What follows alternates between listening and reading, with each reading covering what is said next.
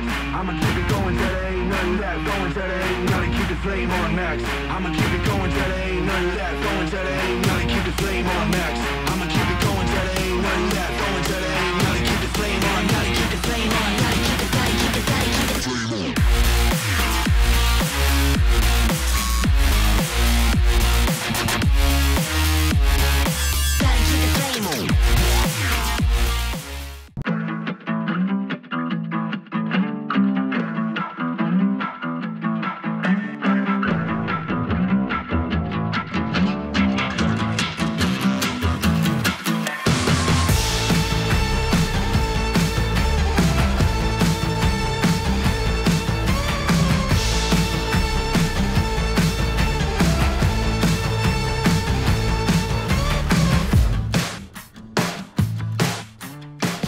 者の人の視線どこをこうよく見てるのかとか、えーまあ、その実際のその人が見えてる視野ですよね中心だけじゃなくてあの視覚に入ってる部分がどこまでなのかっていう部分とかっていうことをあのきちっと捉えることができる、えー機械だと思っております。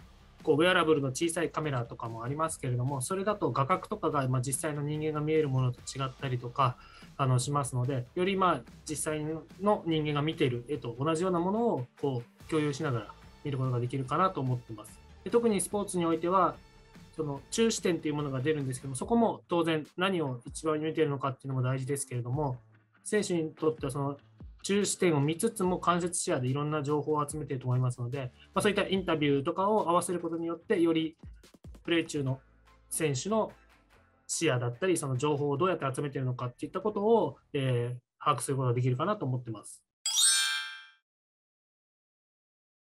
はい、行きます。はい、スタート。マーク。いや、マーク。マークよ。いや、いってよ、いや、いってよ。クリア。アップ、アップ。普通にゴールいけないっていいよ。いや、にやかして。にやかして。いや。はい、次、次。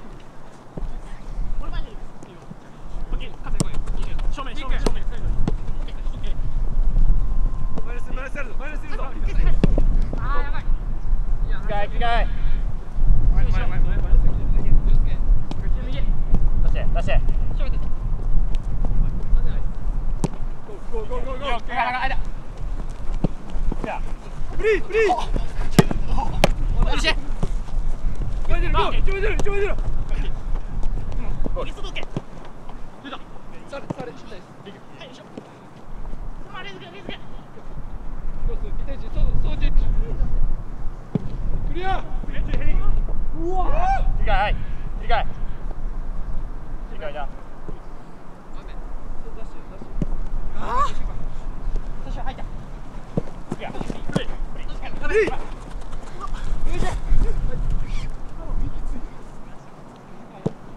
うそうフリー、フリー。ファー見てはい知らない、知らない。それ次のファー次のファー次のファー前入ってきていや次。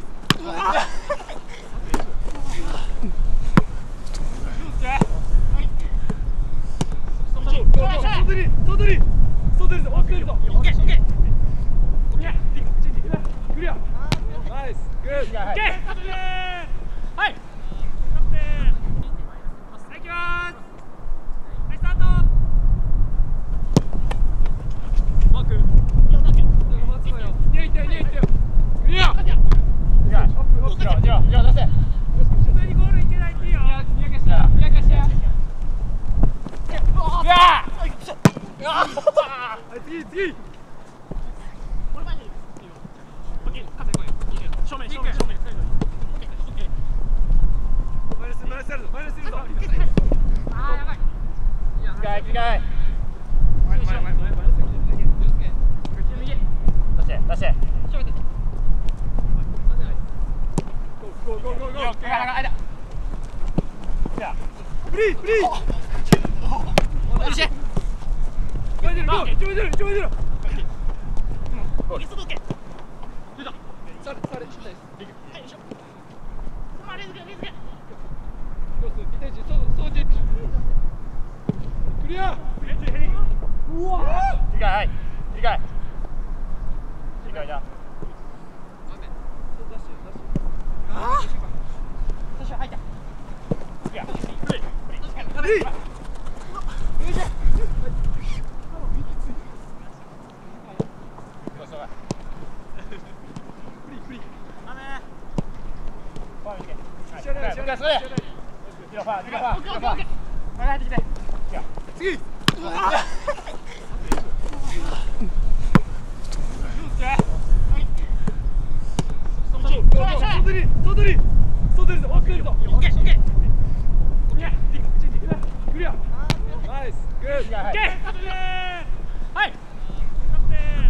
2つ目の、えっと、左サイドから上げられてヘディングでシュートを打たれた。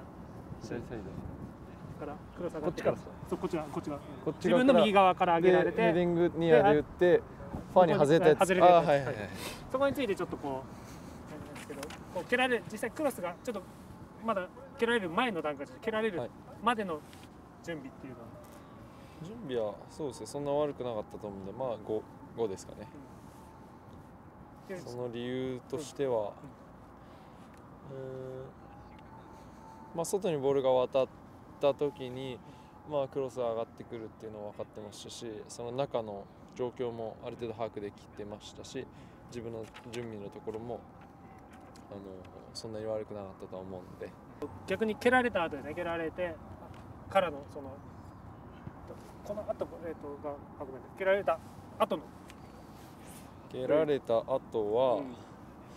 まあ、クロス上がってきました、うんでクロス出れないっていう判断した後に、えーまあ、相手の選手がヘディングする、まあ、ヘディングされるってなった時に自分の、えーまあ、ポジションはそんな悪くなかったですけど、まあ、あれがちゃんと反応できるようになれば反応していきたいなと思うんで。サイドにこうパスが出てってサイフリーマンからクロスって形になったと思うんですけどそこの展開の中ではどういうことをこう見てた？のまあ、外に行く、まあ、パスが出て、外のクロスサーの人がボールをトラップするまでの間のところで中の状況をある程度把握して、えーまあ、クロスサーのところをこう注視するというよりかは、こうクロスサーを見るんですけどこう中を間接視野で状況を把握するようにはしてます。それ蹴られるまであ蹴られるタイミングでっていう感じ蹴られるタイミングまでですね。で今度じゃあサイドプレイヤーがボールを持ってから上げるまで。あれ、えーコントロールして。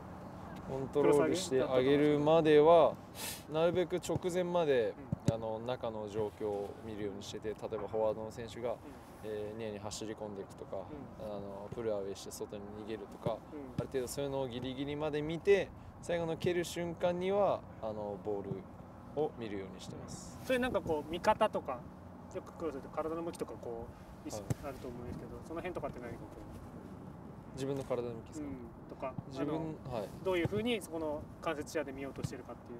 まあ、なるべくそのクロスさんに対して正対しすぎずちょっとこう体を開いてこうからあのクロスさんに対してこう正対こっちしてしまうとこあうこう正対してしまうとこっちがこうこう首振んないと見れないんで、まあ、ある程度こうちょっと体開きながらこっちも見つつこっちも目でこう首振る振らずにこう目だけでこうパッパって見れるようにまあっていうのは意識してます。それはもうサイドにパスが行ってる時も同じような見方にそうですね。行ってる時にもう的にこうこう見るんじゃなくて行ってるとこをこうこういうでそれはもう蹴られるまで同じような感じで、はい。はい。で上げられてからこう次、まあ、出ないっていうジャッジをしたと思うんですけどそこはこうどういうふうにがこう自分の決断までの流れそうですね、まあ、あのボールもまあちょっと低かったんで低かったっていうのもありますし、えーまあ、エリア的にも、まあ、自分が、まあ、処理できないボールだったので、まあ、ディフェンスか、まあ、フォワードの選手が触るだろうなと思って、えーまあ、そういう、まあ、どんなボールが来てもいいように準備をしてました。出ないっていうジャッジをして、えーヘディングをされるというところまでで言うとこうこっち、まあ、ちょっとこのような質問ですけど何をこうどういうふうに見てたかってさっきこう違うヘディングのシュートでこう先に見るっていうような話があったと思うんですけど。そうですね、わまあ、最後のところで言えば、まあ、ボール上がってきます、でもう最後のシューターがいて、まあ、その選手がシュートを打つっていうのは分かってたんで、まあ、その選手のまあ全体像を見つつ、まあ、頭のどの辺に当たるかによってシュートがどこ飛んでくるかっていうのはあるので、まあ、ああいう例えば左足でこう左の巻きに対してこうヘディングするとボールがこういう風な感じで外に切れて逃げてくん。逃げてくんで、まあ、そういうイメージは持ってたんで、まあ、あれがまあ枠の中に入ってきてたら、まあ、足を運んで、まあ、ちょんって触って外に弾こうかなっていうようなイメージはありました。まあ、上がった瞬間にもこれ数秒しかないうちに2回ほどゴール前の状況を確認しています。ボール持ってる選手だけを見るんじゃなくてこうボール選手持ってる選手をぼんやり見ながらも、えー中の状況というものを確認しているということがあの見て取れます。そのおかげでこうクロスが上がって本人が出ないという判断をした時にこの映像に映っているシュートを打った選手に対して早めにこう注視を向けることができています。そうすることによって高岡選手が次シュートに対してより良い準備を整えているということが言えます。こちら次学生のプレーの映像なんですけれども、え先ほどの高岡選手と同様にクロスが上がる前に関してはこう中の状況ということを、え確認していることが、え見て取れます。ただあのこの場面はサイドから直接クロスが上がってくるんではなくてワンクッションパスが入ってからクロスが上げられるというシチュエーションになりました。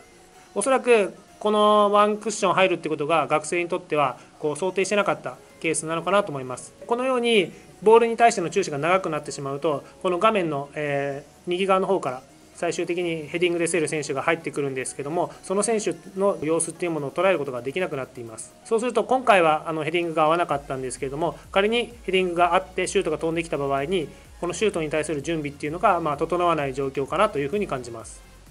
このように2人のトップレベルのゴールキーパーの予測する力というのはあの非常にこう長けているなというふうに感じました。でその予測する力が長けているということでボールを見るどこに飛んでくるかっていう最終的に一番大事な情報を集めるところでの数字にあの興味深い差が見られました。その最終的にクロスが蹴られる瞬間のキッカーであったりボールを見てる時間っていうのを比べると学生のゴールキーパーより高岡選手権田選手の両名の方がその時間っていうのが長かったです。2人とも最終的にはこうゴール前を確認してクロスが上げられる瞬間っていうのはクロスを上げる選手であったりボールというところに注視が向いています。中の状況を確認して予測っていうものが済んでいて次蹴られたクロスに対して自分がプレーするのかまたディフェンスに対応させるのかっていうようなことがもう全て頭の中で整理がついているような状況かなというふうに思います。外出るとオーストリア。クリアあと。